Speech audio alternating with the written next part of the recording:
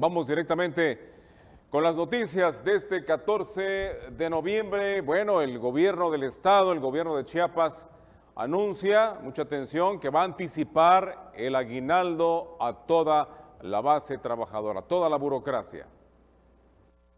El gobierno del estado de Chiapas, a través de la Secretaría de Hacienda, adelantará en esta primera quincena de noviembre el 50% del aguinaldo a burócratas y docentes del organismo público centralizado, informó el titular de Hacienda Javier Jiménez.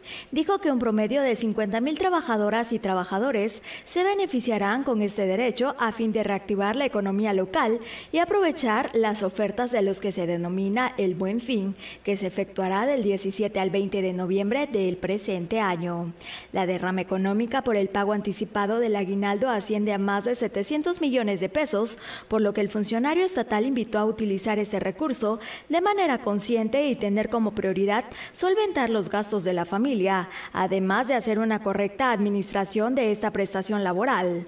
Javier Jiménez afirmó que se continuará trabajando de manera disciplinada y transparente en el manejo de los recursos públicos. Informó para Noti 13 Patricia Montesinos.